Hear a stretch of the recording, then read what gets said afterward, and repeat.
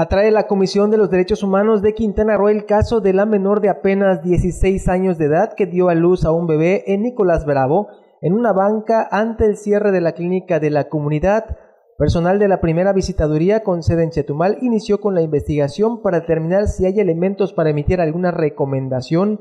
También la Secretaría de Salud ya inició una investigación en contra del personal encargado de esta clínica al no haber personal, esta niña dio a luz a un bebé en la banca de fuera del consultorio apoyado por una partera. Este caso ha dado mucho sobre todo porque la menor tiene 16 años de edad y se habla es su tercer embarazo, entonces es de suponer que se embarazó la primera ocasión producto de una violación.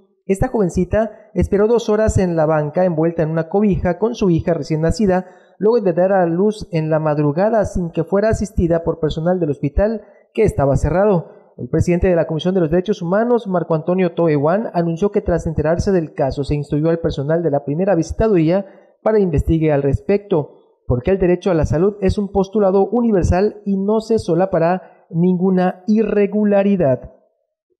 Con imágenes de Diego Ceballos para Notivisión, Juan Pablo Hernández.